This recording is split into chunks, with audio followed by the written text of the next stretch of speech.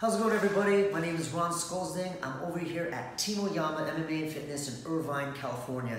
And today we're going to be doing a glove review of one of the Fairtex gloves. And that model is going to be the BG V1. We've got a bunch of other gloves here for sale, but for today we're going to be focusing on the BG V1.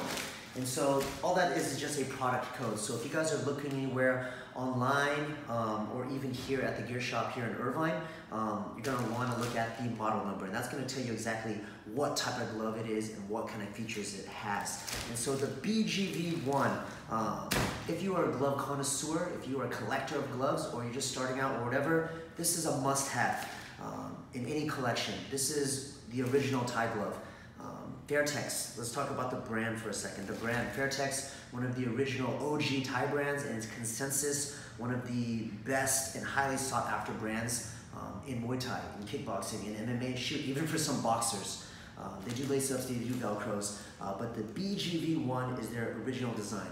Everybody wants them, not everybody has them. They're very high in demand and very low in supply.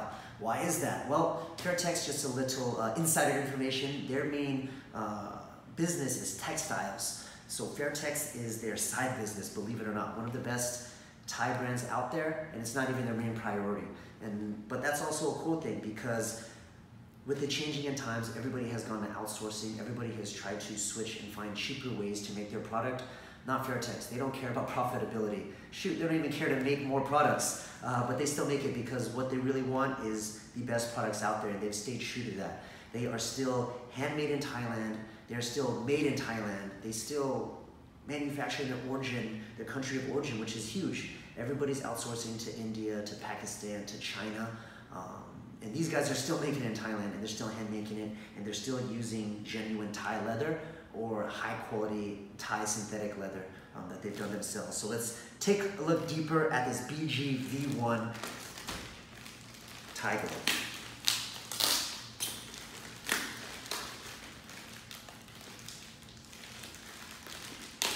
packaging, simple, doesn't have to be fancy. Um, they cover it, they have a label, they let me know that it's a 16 ounce glove. Um, we could do another video on the differences between 16s, 14s, 12s, 10s, 8s, um, and whatnot. Uh, but for this video and its purposes, we're going to be reviewing the BGV1. Classic red color, beautiful. And so what's unique about this model and what you can expect from this model right here, of course, is the origin.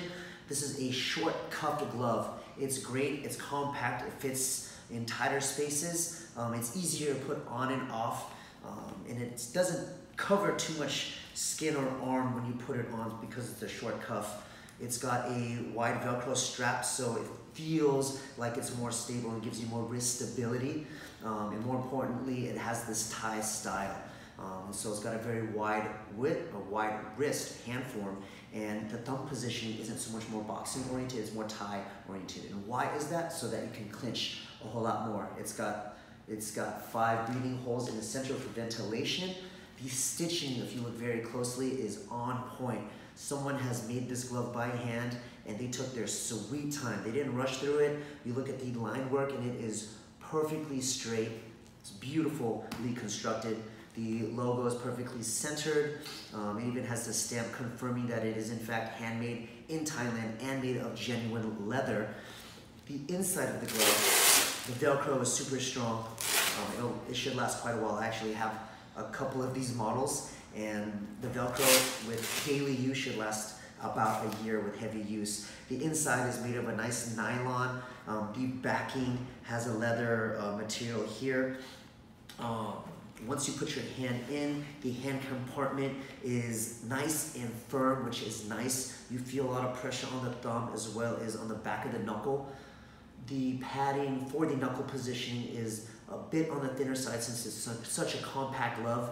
And so the difference between this and the other gloves is the padding is a little more compact. So when you hit your glove, you're gonna feel it a whole lot more. I would say it's the difference between like a Mercedes and a Ferrari. Mercedes is nice, it's cushy, you barely feel the bump in the road, whereas a Ferrari, it's nice, but you feel every single bump in the road. Um, you feel connected to your target so that every time you hit, you know exactly what's making contact. And so I would compare this more as a Ferrari as opposed to a Mercedes. Um, It's got a nice wide fist to accommodate small hands, such as myself, and bigger hands um, that are nice and wider. So you'll be able to fill a decent size um, hand in here.